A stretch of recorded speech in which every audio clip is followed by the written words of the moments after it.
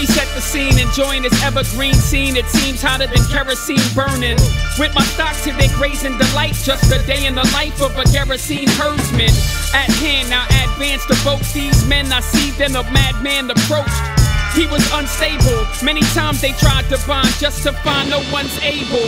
Whatever bound when found each day was severed, tore through chains and feathers like they were feathers. Ironically, I'm too chicken and too stricken with fear to go near there. This dude sickened. I don't know how to behave. I try to be brave, but he lived amongst the dead, hiding in caves. We feared his temper. He was clearly mental in his bare essentials. We were scared to enter.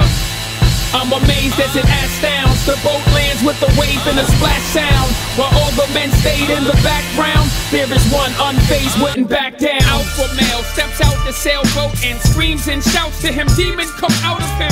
We were all timid. We seen him placed in chains and watched that boy bend it like his authentic strength was augmented. He's in fear being tormented. So keeping my distance, I go spy on both guys and hear them cry. Son of the most high, cowering in fear, afraid with concern. Now the tables are turned, I'm like, how'd we get here? I'm watching this oddly. This man's hobby with rocks, he was godly, marks on his body. This was a revelation. Indeed, his separation was preceded by reputation. He was known throughout this whole region, yet I never heard that name before. Legion. This leaves me with questions. The man from the boat he was suggesting to the other man who screamed with aggression. He was empowered by demon possession. He greeted, pleaded, sounded defeated, called him Jesus with no introduction needed.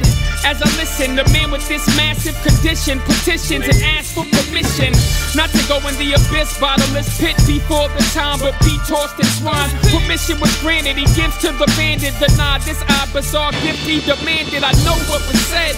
Then I see these pigs going over the edge. I'm just holding my head. The effects are detectable. But it's beyond what's perceptible. I need spectacles. Is my sight blind? I thought I never had viewed in my lifetime. Dude looking quite fine, soothed in his right mind. I just sighed cause we joke that we see this day when pigs fly. What just occurred? Did something just jump in the herd?